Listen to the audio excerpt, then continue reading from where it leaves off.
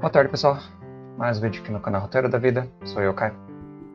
O vídeo de hoje é um ficção debate do anime Sessão Especial de Domingo, ou anime Sessão Especial de Domingo, e é um filme de One Piece. Então, é o décimo filme de One Piece, e esse aqui ele tem um nome diferente. Eles fazem do 1 ao 9, ao 9 com números, e do 10 em diante eles começam a misturar palavras ou deixar sem número. E no caso do filme 10, ele é chamado popularmente de Strong World.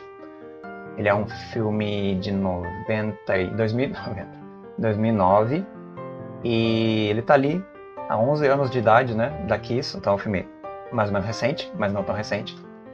E ele é chamado mesmo de filme 10, conhecido como filme 10, mas mais conhecido mesmo como Strong World. É, nariz coçando. Ah, enfim, esse filme aqui, ele marca uma coisa interessante em One Piece. Ele marca a utilização dos filmes de One Piece de maneira mais firme, como é, não apenas uma espécie de nostalgia, de bônus para os fãs, mas utilização dos filmes mesmo como um peso grande cinematográfico. Esse filme aqui ele tem orçamento, por isso que eu falei, tem peso cinematográfico. A maioria dos outros filmes, tirando um ou outro, tinha menos orçamento. Tá que o filme do Mamoru. Não, Wash, o outro Mamoru. o outro, o Mamoru, que eu não lembro o nome agora, mas Mamoru, que é o filme 6, se eu não me engano, teve orçamento, teve liberdades. Esse filme 10 ele tem bastante orçamento, o filme é bonito. Tem CG, tem bastante extensão, tem quase duas horas de filme, os filmes ficam mais longos e Mamoru Hosoda. Mamoru Hosoda. O Hosoda teve um filme razoável, um orçamento razoável. Mas em geral os filmes de One Piece pecam muito pela qualidade da animação. O OVAs e filmes eles têm uma pegada mais de promoção e menos de culto. Tá que o anime em geral, seriado, já não é tão grande coisa assim. Mas nesse filme em específico, pelo menos do 10, acho que o 11, o 12 em diante, eles começam a dar mais dinheiro para os filmes e os filmes eles têm bilheteria de verdade. Então eles se tornam grandes blockbusters no Japão. Então, por isso, o filme 10 é uma espécie de, em certo sentido, é, virada, né? É um filme de que muda um pouco o ângulo do que é um filme One Piece.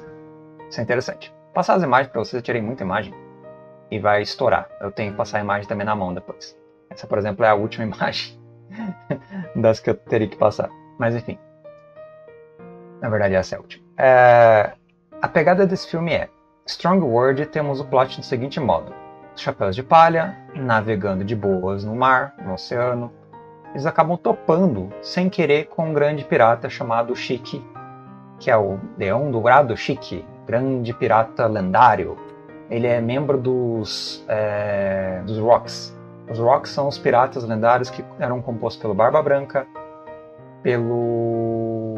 Ah, pelo, pelos Yonkos em geral, né? Mas pelo menos Barba Branca, Golden não, Golden Roger não, mas ah, esqueci o nome do pirata. A Big Man, a Big Mom estava neles também, dos Rocks. E o Chique também estava neles. E o outro cara que é o Kaido, o Kaido também. O Kaido tava a Big Mom, o Kaido e o Barba Branca, nos Rocks. Que são uns piratas lendários, um pouco anterior ao, ao meio que contemporâneo ao Golden Roger e posterior aos grandes gigantes é, que dominaram os mares por 100 anos, ou 100 anos antes, algo do gênero, que é a época dos gigantes também. Enfim, os Rocks eles lançaram muitos grandes nomes. Muitos grandes nomes. E dentre esses nomes temos o Shiki, que é um personagem secundário que não aparece na história original de One Piece, mas é um daqueles personagens que é meio canônico. Ele é canônico, citado, tem importância, mas não importância na, na história central, então ele é um personagem que é utilizado como um, uma espécie de é, ferramenta para o filme, ferramenta como pseudo-canônico, e ele fica meio que na linha intermediária. Ele aí não é canônico, entendeu? Ele faz parte dos Rocks, ele tá lá, ele é parte da história do One Piece, só que ele é tipo o Enel. O Enel ele também é canônico, mas ele desaparece depois da saga dele e vai sei lá para onde. Então o Chique é mais ou menos, ele nem tem saga no, no cenário original de One Piece, nas sagas normais de One Piece, mas ele é importante. Então é isso. E o que, que o Chique é? Ele é um cara que perdeu as duas pernas, amputou as duas pernas para fugir da marinha, da prisão da marinha, e tem duas espadas no lugar das pernas. Interessante, o design dele é bem interessante. Outra coisa que é importante nele, ele usa Akuma no Mi. Como esse, essa saga que ela acontece antes do time skip, o Luffy ainda não usa hack. Então o Luffy tá no Gear Third e o Gear Second. E aliás, ele até tem o efeito colateral do Gear Third, que é ficar pequeno ainda. Eles param de usar esse efeito colateral, eu não sei o porquê, não é explicado. Simplesmente acho que ele desenvolveu tanta técnica que ele perdeu o efeito colateral dela. Porém, isso não é explicado no anime, nem não sei se vai ser explicado no, no mangá ou se é explicado no mangá que eu não li. Mas de um modo ou de outro, ele tá nessa parte onde ele acabou de ganhar do. Ele acabou de recrutar o Brook pro navio. Então é pós Gekkomoria, ou entre Gekkomoria, nessa parte do anime original. E ele já tá com o Brook, já tá com o Frank, já tá com a Robin. O bando tá praticamente completo, tirando o próximo integrante, que é o Jinbei. Jinbei ainda não tá no grupo, logicamente. Mas o grupo tá praticamente a formação, digamos, mais completa possível até praticamente metade da história. Então temos ali Frank, a Robin e o Brook. E nisso eles acabam sendo é, abordados, entre aspas, abordados, entre aspas, eles topam com o Chique. O Chique ele tá navegando com o navio dele que voa, porque a Akuma do Chique é a Akuma no da levitação. Ele faz levitar o que ele quiser eternamente, até quando ele parar de querer controlar. Isso que nem aquele poder da menininha do Alabasta lá que transforma os bichinhos em urso, sabe? Que ela não pode perder a concentração do poder dela, algo do gênero, ela não pode ser nocauteada se ela for nocauteada, o poder dela perde a vigência. O do Chique é a mesma coisa. Se ele for nocauteado, o poder dele perde a vigência. Enquanto ele não for nocauteado, o poder da Comando Mi dele pode ficar anos e anos funcionando. Então ele faz levitar várias ilhas, cria um reino no céu, parecido um pouco com a saga do Enel, só que não tem nada a ver, que é um reino no céu que é feito pelo Chique e não um reino no céu diferenciado, que nem o do Enel, lá que tem nuvens e tal, é bem diferente. Embora tenha até o Tony Dial, o Tony Dial, se não me engano, é desse reino do céu mesmo. Mas voltando. O Chique ele tem esse poder de levitação e o que ele quer? O Chique ele tem uma missão: ser o grande dominador do mundo. Bem isso. Ele quer bater na marinha, destruir o governo mundial e ser o tipo o ditador mundial. É isso que ele fez, é isso que ele quer. Ele tá há 20 anos, desde quando ele foi decadente, desde o Golden Roger lá, desde quando ele fugiu da, da marinha cortando as pernas. Ele já estava preso na época do Golden Roger, que é o rei dos piratas e tal. Desde que ele fugiu, ele ficou 20 anos planejando como ele ia fazer a vingança dele e, foi, e virar o governante mundial. Ou seja, ele é um megalomaníaco qualquer. Simples assim, qualquer personagem genérico. Bem genérico mesmo. Nisso, a trama dele é, ele tá fazendo teste científico junto com o doutor dele, que eu nem sei o nome. É um doutor palhaço que faz barulhos escrotos. Eu acho bem qualquer coisa qualquer coisa. É, e esse doutor é doutor Indigo, se não me engano o nome dele ajuda ele a fazer os bichos se tornarem inteligentes e poderosos e terem níveis massivos de força. Para quê? Para ele fazer uma anarquia, um caos, um, jogar nas vilas, jogar nos países e destruir o mundo. Usar os animais para isso. Tirando isso, ele escraviza uma ilha com habitantes alados, que são os habitantes meio que chineses, né, entre aspas, com asinhas no, no antebraço e no, no braço que fazem eles voarem, que é a Xiao, a avó da Xiao, a família da Xiao. É um personagem lá que fica bem em escanteio no filme também, mesmo o filme tendo duas horas. São os escravizados, usados como. É que muito disso, né? Um ditador, uma ilha, algo do gênero, e todo mundo se ferra e esse ditador manda em tudo. E no caso da vez, é o Sheik mandando nessa ilha dos moradores alados. São utilizados, eu não sei nem para que é o certo, mas para todos os trabalhos escravos da ilha. Os homens e os jovens, né? E as crianças e as velhas ficam na vila. Enfim, o que acontece? O, Chique ele acha, ele recebe uma dica da Nani de um tornado, de um, de um, tornado, de um furacão que vai acontecer. Eles chamam de. não é furacão. Chamam de ciclone. Um ciclone que vai acontecer. E ele fica, nossa, ela consegue prever ciclones com mais precisão que os meus cientistas, com os meus equipamentos tecnológicos. Então eu quero essa navegadora para mim. E ele sequestra a Nami. Ele engana o bando de Chapéu de Palha, sequestra a Nami e manda eles a merda. Aí o filme é a jornada do Chapéu de Palha tentando resgatar a Nami. Bem isso. É bem isso. E junto nisso, frustrando os planos do Chique, que é dominar o mundo. E a Marinha toda, ah, a Marinha tá atrás do Chique porque ele é um grande oponente, não sei o que lá, ele é um risco mundial. Acaba ficando meio apagado, na verdade, no filme.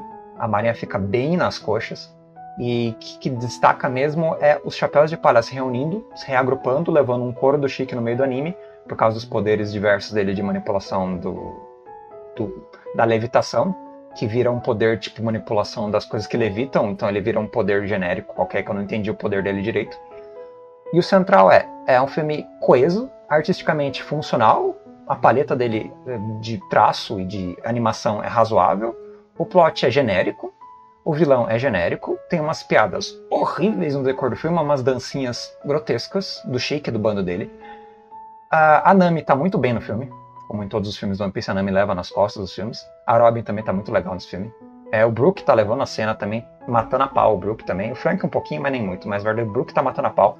O Zorro e o Sanji estão mais ou menos. É, o Zop nem aparece. O, o coitado do Chopper também quase nem aparece direito. Fica bem nas coisas, nas coxas. O próprio Luffy quase não tem destaque nenhum no filme. O que tem maior destaque no filme são os animais. Os animais são muito legais. Os animais são muito legais.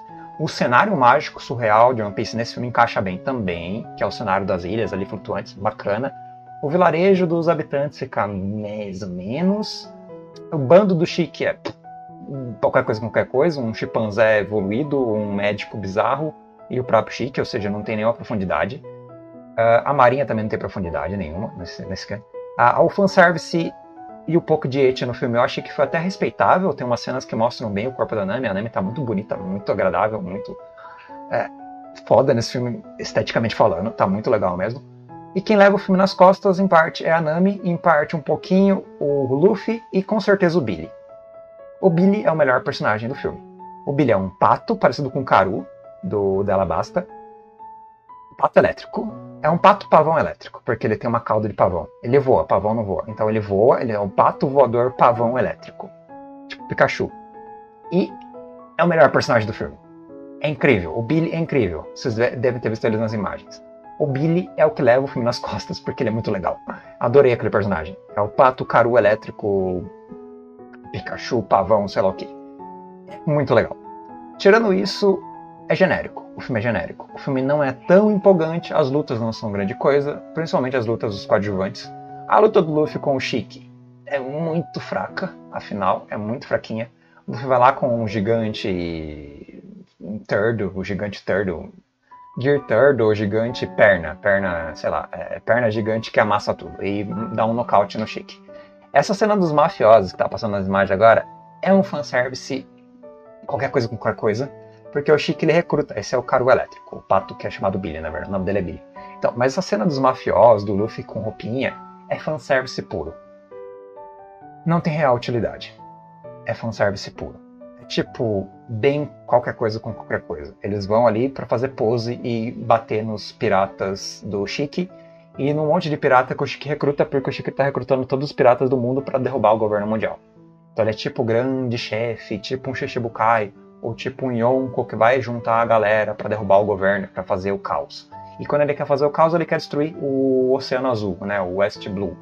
O Oceano Azul é foda. O Oceano do Oeste, que é a terra natal do Luffy, do Usopp, do Zoro e da Nami. Então ele quer lá dominar o oceano mais fraco, que é um dos cinco oceanos no cenário, que é o Oceano do Oeste, que é de onde veio o Chapéu de Palha e a galera. E ele quer simplesmente destruir o lugar ali para mostrar que ele pode destruir jogar os animais pra fazer caos lá, e jogar as ilhas pro alto, levitar tudo, e fazer o que ele fez com o poder dele e tal. Ele é tipo isso. É bem besta, assim, o Chique fazendo as coisas. Então, é um personagem um tanto quanto whatever. Tem essa luta do Zorro com esse doutor, que ele usa essa habilidade que ele usa pouco, essa habilidade de nove cabeças, de três cabeças, nove espadas dele, que é interessante. Eu não sei ao certo como é que funciona essa habilidade dele. Mas enfim, é, voltando. Desculpas sair um pouco do foco, mas enfim. Esse filme é um tanto quanto bonito, esteticamente legal, tem cenas ótimas de vários personagens, do Brook e do. um pouquinho ali da Robin, um pouquinho da Nami. Tá legal, o ritmo não é ruim, é, funciona, a fantasia funciona, os animais funcionam muito bem, é, as premissas ali de terem árvores é, venenosas, de espantar os animais, de controle da população do local, de a população ser cobaia para ser sacrificada depois pelo Chique elementos genéricos de One Piece. Funciona, mas é aquele filme ok. Não é mais do que ok. Vou cortar as imagens para passar na mão aqui algumas delas para vocês. É um filme ok e nada mais do que ok. Simples assim. Ele é um filme que não engrandece muito o cenário. Simples assim. Tirando o Billy e a Nami, que tá, como sempre, muito bom. A Nami sempre tá boa em todos os filmes, cara. A Nami é uma tá levando nas costas a maioria dos filmes de One Piece.